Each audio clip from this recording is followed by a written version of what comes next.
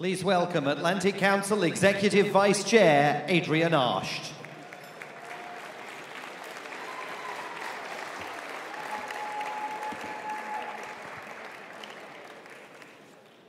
I think some taller people came before me.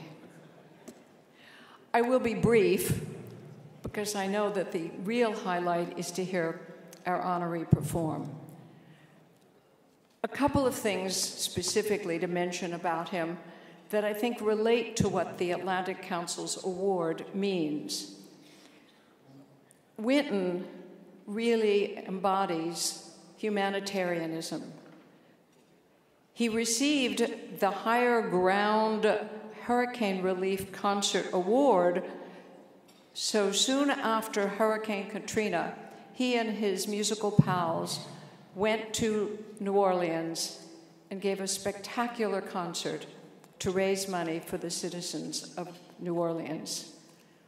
He goes around the world performing great music, but always reaching out to citizens in the places he visits. Rather than read all his awards and tell you where he went to school, which was Juilliard, let me tell you two stories. New Year's Day, 2009, a recording studio here in New York City. Sandra Day O'Connor and Wynton Marsalis sat down to have a conversation. It was a video that was to be shown the day before the inauguration of President Obama. And Wynton sat and talked to Sandra about jazz and why he believed that jazz was really like running a country. He talked about the fact that getting the three branches of government to work together was really like getting his musicians to perform together. And he felt that the struggle to get the creativity and the passion of his jazz musicians to perform jointly was very much like running the three branches of government. And I sat and listened to that and thought how special that was, and that Sandra and I each always carried a copy of the Constitution and the Declaration of Independence, which was, had been a gift from my mother. And so after the taping, I gave Wynton his own copy, and he carries it to this day in his trumpet case.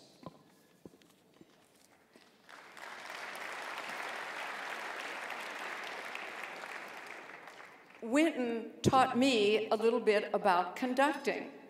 A number of years ago in Miami, there was to be an opening of a hotel, and they were honoring the Performing Arts Center, Arts Center there and Wynton.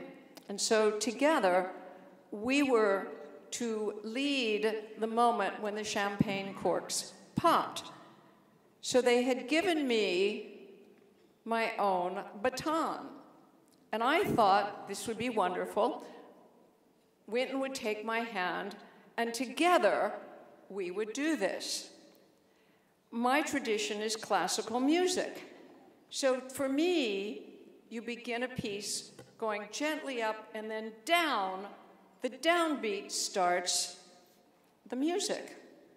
What I didn't know is in jazz, it's the other way and you come down gently and you begin like that. So here, Wynton and I were holding the baton, and I was struggling to go up, and he was trying to bring my arm down. So I suggest to you that we should think more in terms of jazz, which is upbeat. And now, on behalf On behalf of the Atlantic Council, I am pleased to present Wynton Marsalis with the Global Citizen Award.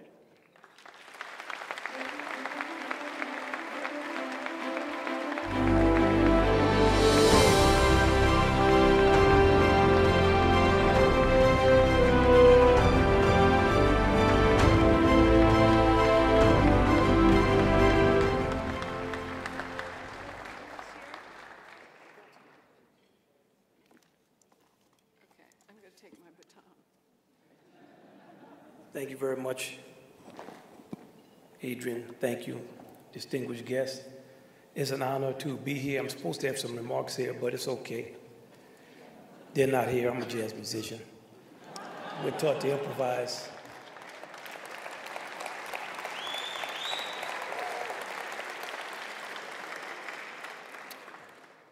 It's interesting to have the distinguished prime ministers of Italy and Japan here tonight two countries that are so dear to, to me and an important part of the history of our music.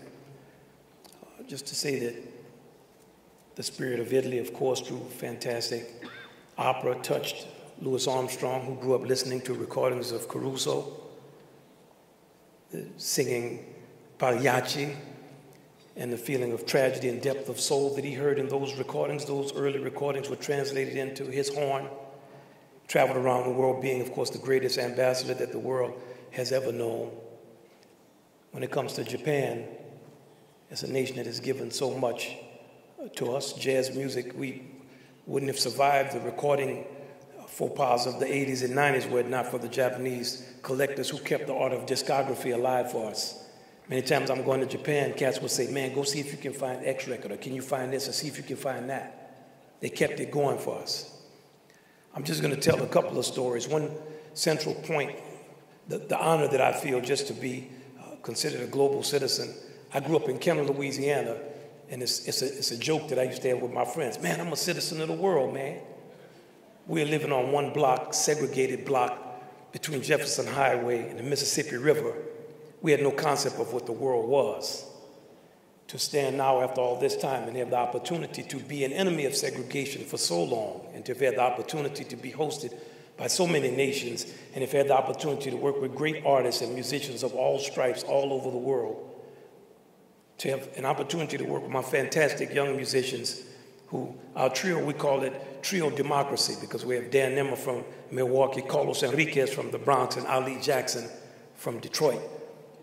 Walter Blanding from Ohio, I always think many times we talk about politics and finance, of course, finance and politics, finance and politics. But what happens when finance and politics lose their way? We have to go home. And home for us on earth is cultural. Home is our identity. All human beings have some type of ethnic identity, some ethnic origin, some type of group, subgroup that they belong to. But we also belong to a much greater group and that is our human heritage, and that is the heritage that is mined by the arts. So when someone says Italy, I think of Antonio Vivaldi, I think of Puccini, I think of Toscanini, I think of many great works of art, Michelangelo. Somebody talks about Japan, for me, they talk about the great swordsman Miyamoto Musashi, who left us with some advice. If you want to deal with big things, deal with them exactly like how you would deal with small things. Just think simpler. I go through my own history, and I'm just going to give you three examples of what I consider to be global citizenship opportunities that I've had to learn from being in the world and touching people who come from different places. The first was when I had the opportunity to go to Poland and other countries that were behind what we called the Iron Curtain at that time.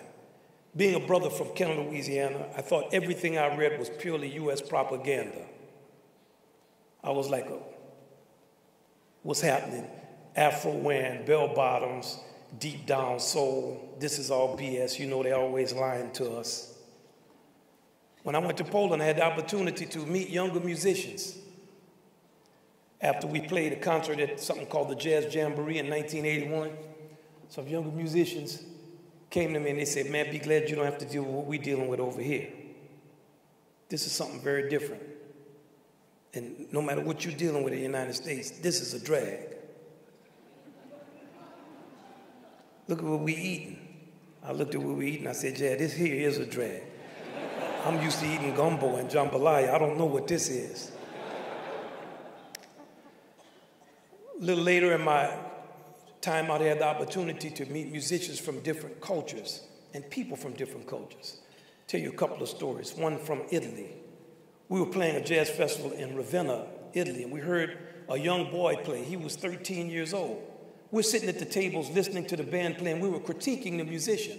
Yeah, not bad, you know, he can play. But somebody came over and said, That boy is 13 years old.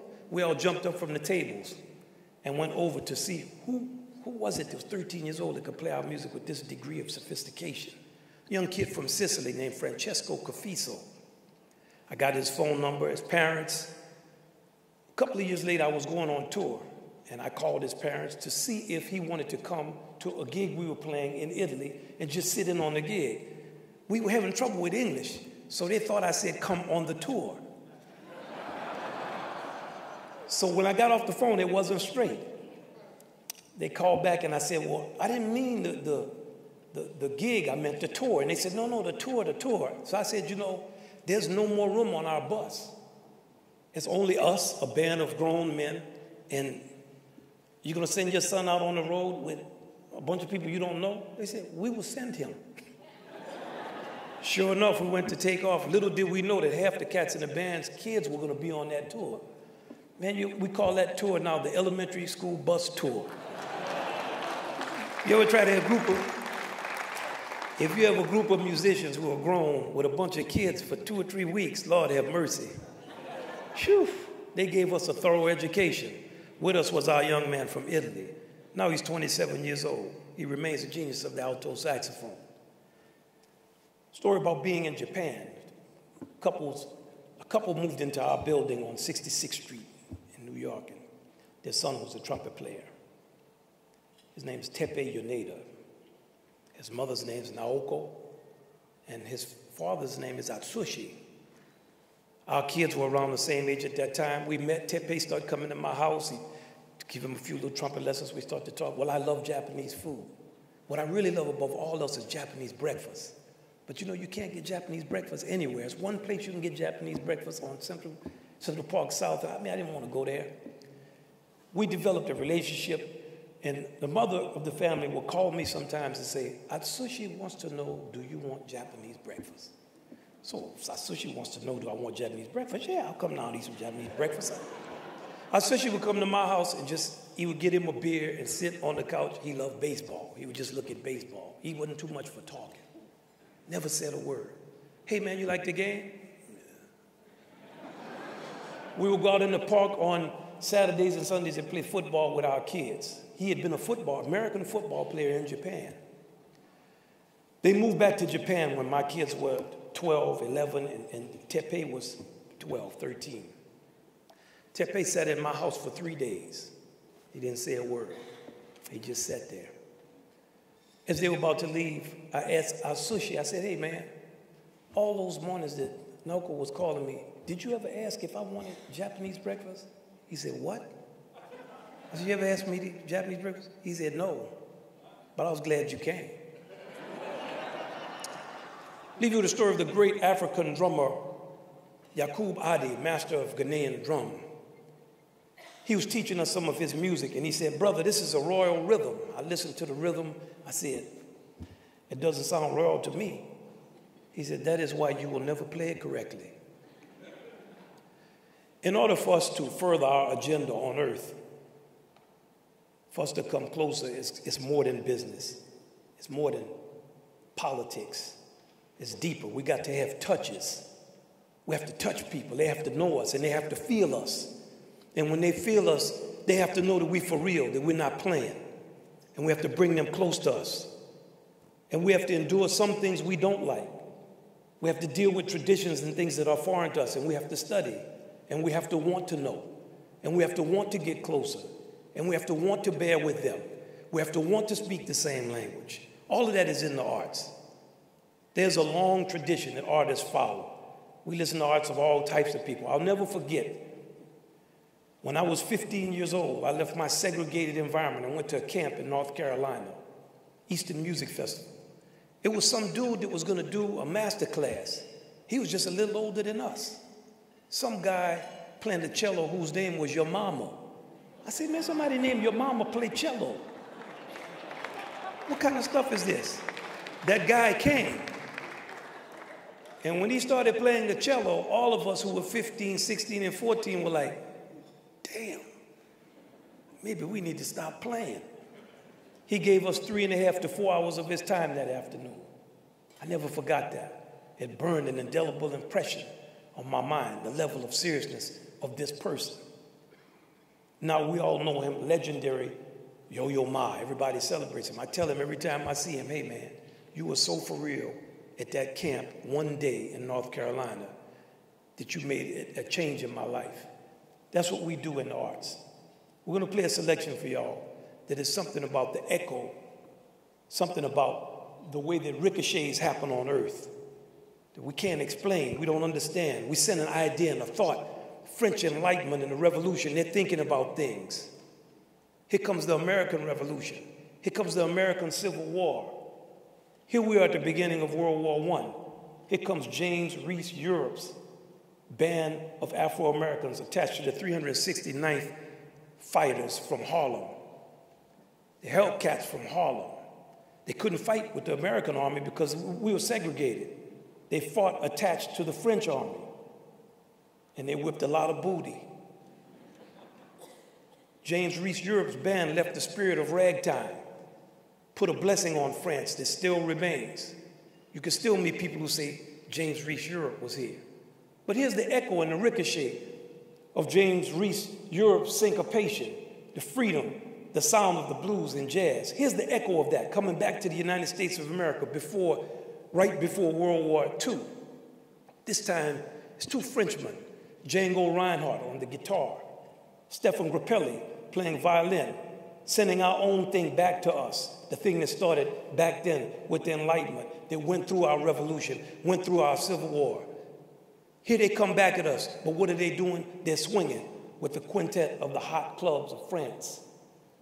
We're going to play now for you all a song that they played that is a perennial swinger. It's a great honor to address you. It's a great honor to be here. I'm going to say the words of my man Francesco Cafiso, what he would always say about, about Italy. He would say, Italy number one, Italy number one, Italy number one. And I would say, New Orleans number one, New Orleans number one, America number one. He say, no, no, no, Italy number one. I said, no, no, America number one. He said, no, no, Italy number one. He said, okay, Italy, America number one. That's what we need. This is Minor Swing.